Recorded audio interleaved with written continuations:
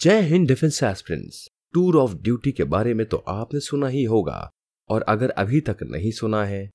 तो आप हमारे चैनल पर टूर ऑफ़ द ड्यूटी के वीडियोस देख सकते हैं, जिसमें हमने सारी डिटेल्स ऑलरेडी बताई हैं। इस आइडिया को प्रोत्साहन देने के लिए गवर्नमेंट ऑफ़ इंडिया ने अग्निपथ योजना एंट्री स्कीम 2022 लॉन्च करने का डिसीज़न लिया है। इस स्कीम के चलते आप इंडियन आर्म्ड फोर्सेस का पार्ट बन सकते हैं।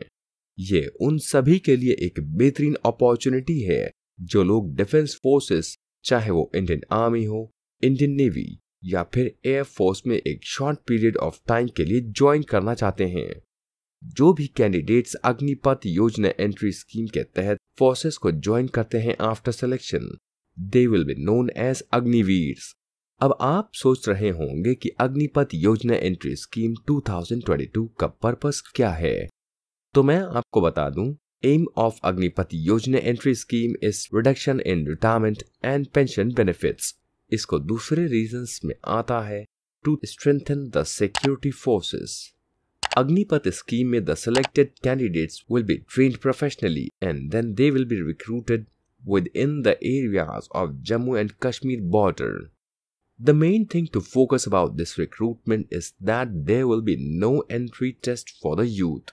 However, the candidates enlisted under the scheme will have to go through a longer training, effectively for at least two years for a three-year term in order to make them ready for joining armed forces as professionals. कुछ खास बातें about the Agnipath योजना entry scheme जो आपके लिए भी जानना बहुत ही इंपॉर्टेंट है that the Indian army will be the conducting body for this scheme जो कि सेंट्रल गवर्नमेंट ने रिसेंटली लॉन्च की है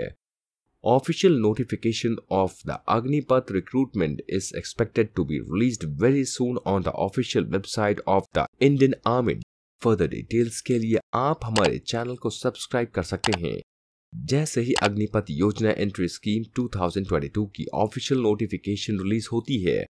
हम आप तक सारी जानकारी आसानी से पहुँचा देंगे उम्मीद करते हैं आपको हमारा ये वीडियो पसंद आया होगा जय हिंद